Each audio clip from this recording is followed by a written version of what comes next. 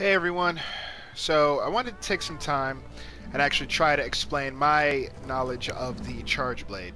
I have a lot of people that I've spoken to that have said that the Charge Blade is so technical, it's so awkward, it's so complex that they just stay away from it. They don't bother with it. And that kind of actually sucks. I love the Charge Blade personally. It's kind of like the Swiss Army knife of all the weapons. It's got its fast attacks via the sword mode. It's got its great defense options with its reasonably sizable shield. And the shield itself is actually more than just a defensive tool, it's actually a weapon itself as well. So your defense is actually also your offense, which I can get into after the hunt that I'm actually going to do and include in this video. And then you also have some reasonably sizable damage with its counterpart, the axe mode.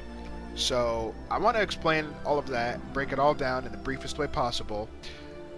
So for the duration of this video, I'm going to include a hunt so I can show off some of the mechanics I'm going to talk about and some that I, I'm going to kind of mention but not go too in depth with just to avoid any confusion.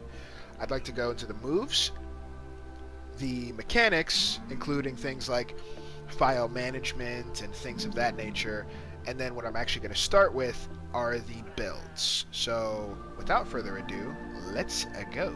So first off, we have two styles of charge blade play and two types of charge blades. Those two styles are super amped element discharge and savage axe. And the two types of charge blades are elemental charge blades, like this one here, the ice, and impact charge blades, like this one, the chrome fortress or the volatile blade. There's actually a lot of impact phials. So there's two different types of charge blades that you can use and two different styles that you can use.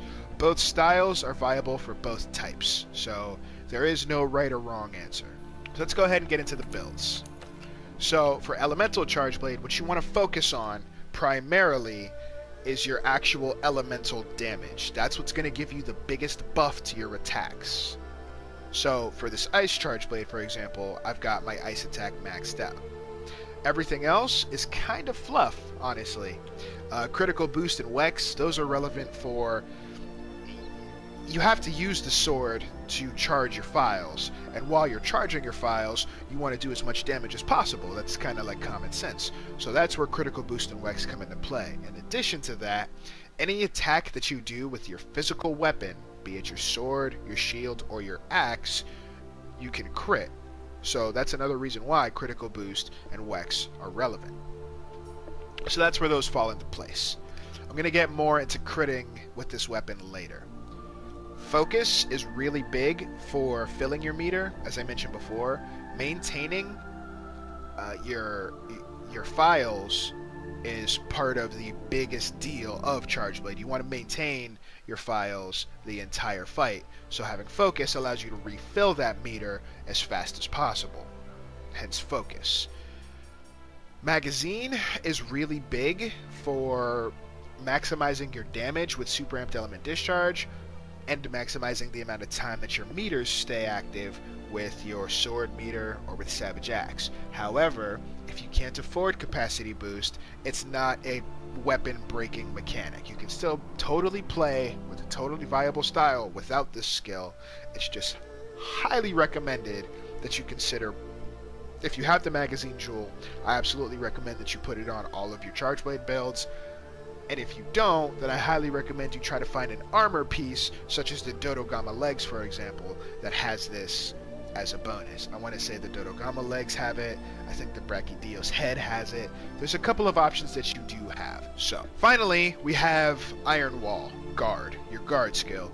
Guard is very relevant because when you successfully guard an attack without too much pushback, you can actually counter attack with a super amped element discharge, an amped element discharge, whatever have you. So that's why guard actually becomes very relevant. The nice thing about Charge Blade is realistically you only need three levels. When your shield is charged, that gives you one free level. When you perfectly guard point, that gives you another free level. And I'm going to get into guard points, as I mentioned, in a little bit when I get into the hunt. So that's the basis for elemental style charge blade. Let's go ahead and switch over to impact. So here we are with impact charge blade. I have the Royal Star Shield, that is the guild weapon that came out with this latest appreciation fest. So, as you can see, a lot of the skills are similar. However, there are some differences. The biggest difference is this skill right here, artillery. Impact phials do not have an element. They are elementalist, however, they do not benefit necessarily from the non-elemental boost, unless, like this weapon, it doesn't have an element. Your phials do scale with raw damage, so attack boost can be viable. For example, if I actually switch over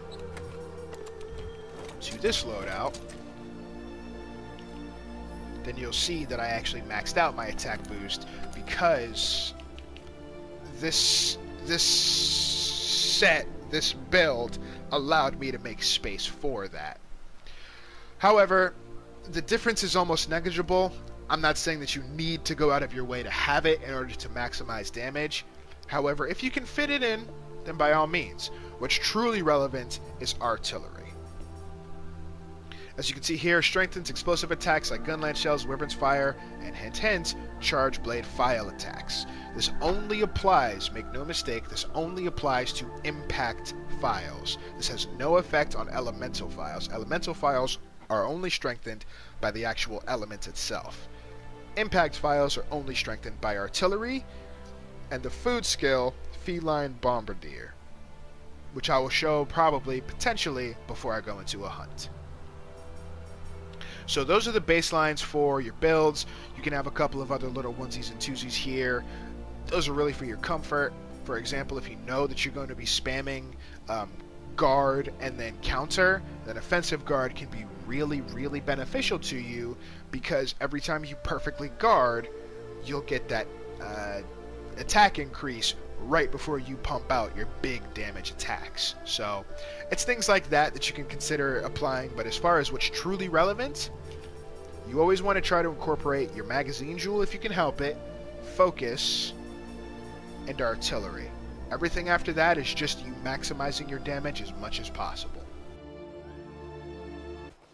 So I figure it would be simplest if I went over a hunt that I did in a previous video. So, the first thing that I like to do is to fill my meters.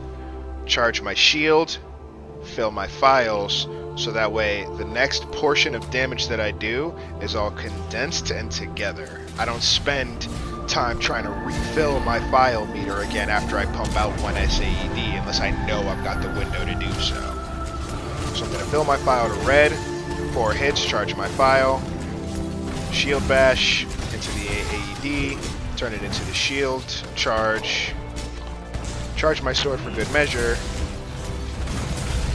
I missed a fourth hit, but there's a fourth hit right there.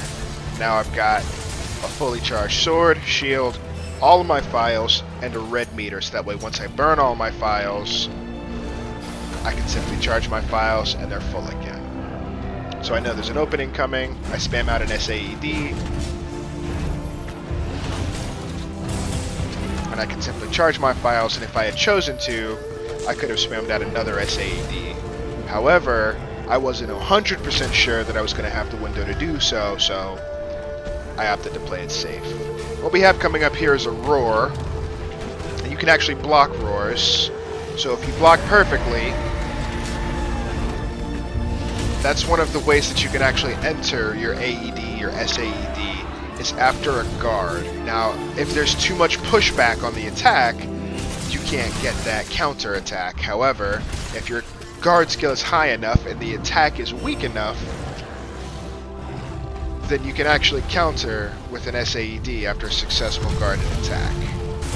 So to show off here, as you can see, every time I block, you actually see damage numbers. What's happening is a guard point. Guard point is anytime your weapon is positioned directly in front of your character. There's many different ways that you can do this. However, any of those attacks that leave your shield presented in front of your body count as a guard point. The one that I'm doing on purpose here is the morph attack where you block with R2 and press triangle. That's how you morph manually from sword and shield to axe mode. That animation counts as a guard point.